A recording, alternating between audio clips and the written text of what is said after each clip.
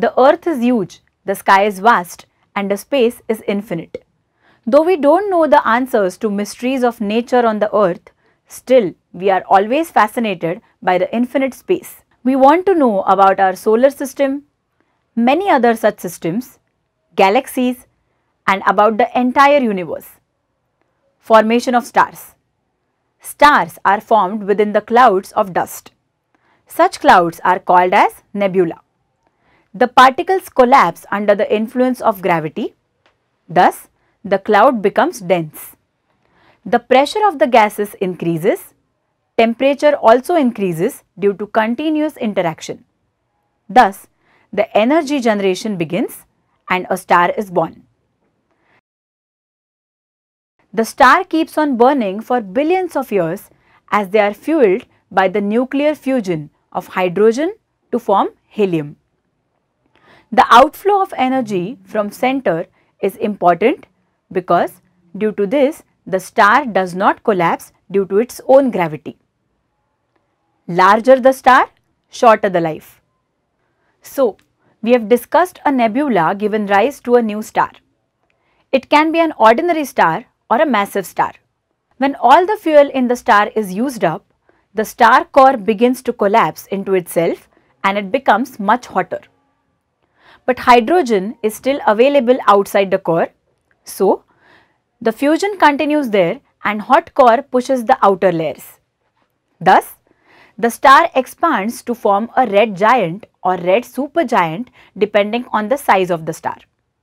The ordinary stars become white dwarfs. Our sun will also become a white dwarf after billions of years.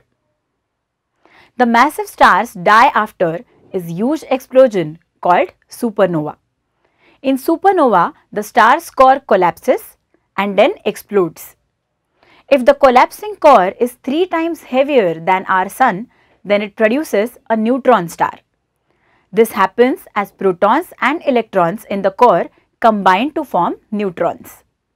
If the core is heavier than the three solar masses, then it collapses completely to form a black hole with tremendous gravity. Our galaxy. Our galaxy Milky Way is a spiral galaxy and it has a diameter of 1,50,000 to 2 lakh light years of diameter. It may have 100 to 400 billion stars and more than 100 billion planets. Sky watching.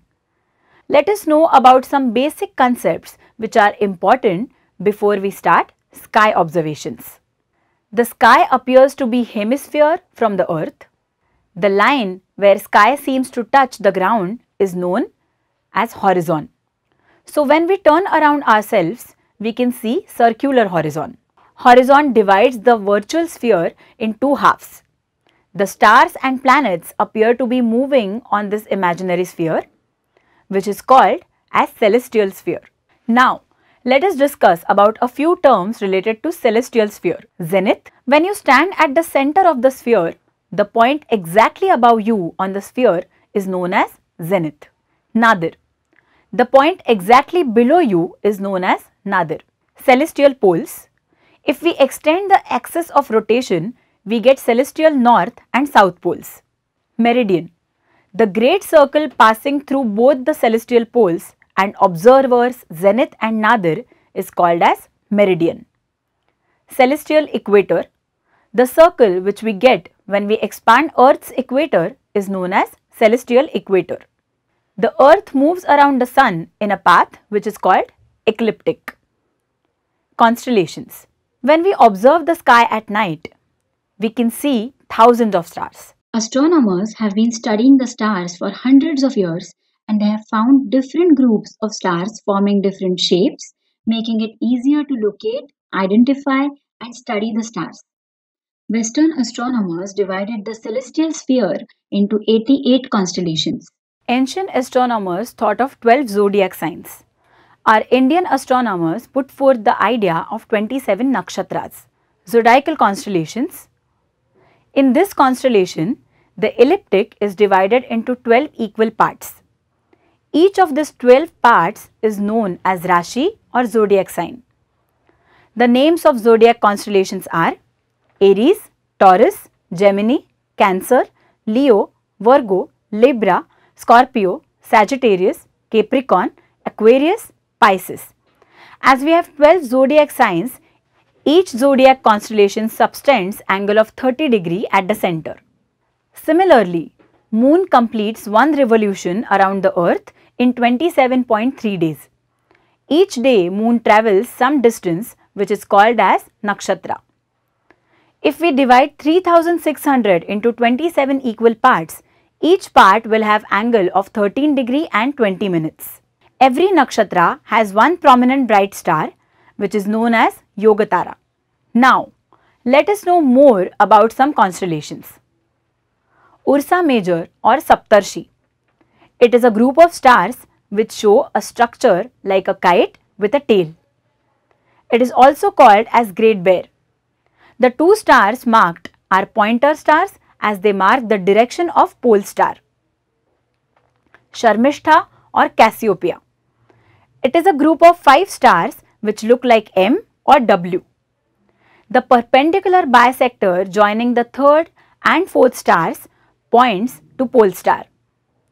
Pole star is very important while studying about stars as its position is fixed just above the earth's axis of rotation which is a good reference point. Mruga Nakshatra or Orion. It is visible clearly in Jan to March. It is very easy to find it in the sky. It is also known as hunter. The name comes from Greek mythology. Orion was a giant hunter who felt that he could kill all the animals on the earth. Mother Earth did not like the idea and so, after death, he was placed in the sky. Vrushchik or Scorpio. It is a constellation with 10 to 12 stars. Jyeshtha or Antares is the brightest amongst them. This is just the beginning of astronomy. As you go deeper, you will enjoy watching it more. Keep observing, keep learning. Our galaxy. Our galaxy Milky Way is a spiral galaxy and it has a diameter of 1,50,000 to 2 lakh light years of diameter. It may have 100 to 400 billion stars and more than 100 billion planets. Ancient astronomers thought of 12 zodiac signs. Our Indian astronomers put forth the idea of 27 nakshatras.